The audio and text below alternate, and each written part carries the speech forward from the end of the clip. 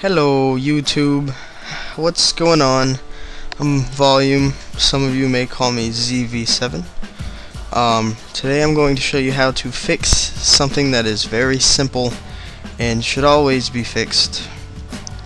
And that is making the sound of your clip when you slow-mo it not sound slow-mo. Uh, I mean not slow-mo, what am I saying? Make it not echo. Um, then what you want to do is you want to take your clip? And you want to of course make it slow. And um, you want to right click on the audio click properties and then just click lock to stretch. Check that. Click OK. And you're done. That's all you need to do.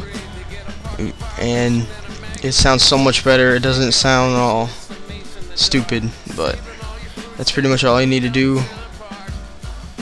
That's it. Um, I hope you enjoyed this found this useful um, because if you ever make a montage and you slow-mo it and, it and it and it's like that and when it echoes it just sounds dumb. So yeah I hope you guys enjoyed this. It's really fast really quick. It takes like three seconds but thank you guys for watching. Peace